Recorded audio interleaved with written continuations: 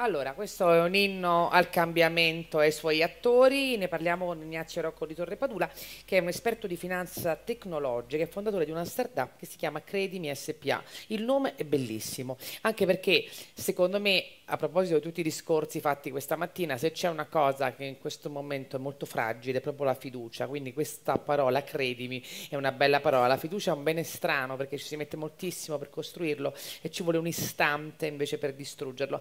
Come come nasce questa iniziativa e che cos'è soprattutto? Cos'è la finanza tecnologica? Partiamo da questo.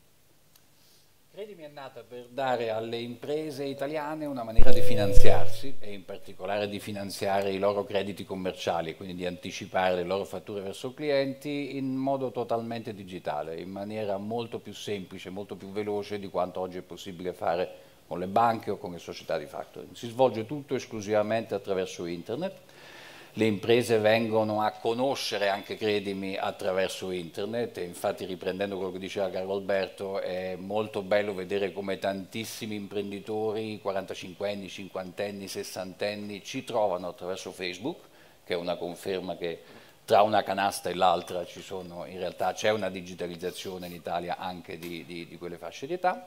Quindi è nata per questo, è nata per finanziare le imprese e finanzia le imprese con mezzi di provvista particolari, perché i finanziamenti che facciamo alle imprese italiane diventano poi dei portafogli di finanziamenti ceduti a fondi di investimento, fondi che gestiscono i risparmi delle famiglie.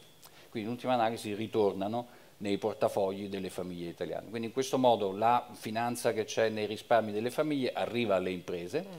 tramite questo canale digitale che è Credimi.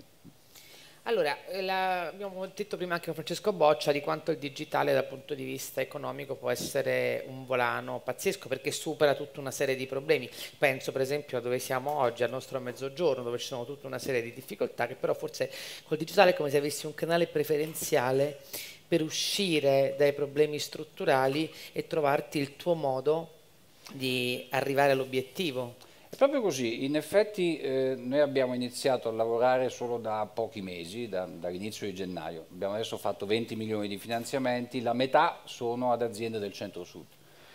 Quando un'azienda chiede un finanziamento a credimi, trova dall'altra parte appunto il temutissimo algoritmo, nel senso che c'è una macchina che valuta quell'impresa in un modo oggettivo, a prescindere dalle relazioni, a prescindere dalle conoscenze, a prescindere dalle amicizie e anche a prescindere dalla geografia e quindi se un'impresa è sostanzialmente valida viene finanziato e lo viene a sapere in 48 ore senza muovere nessun pezzo di carta.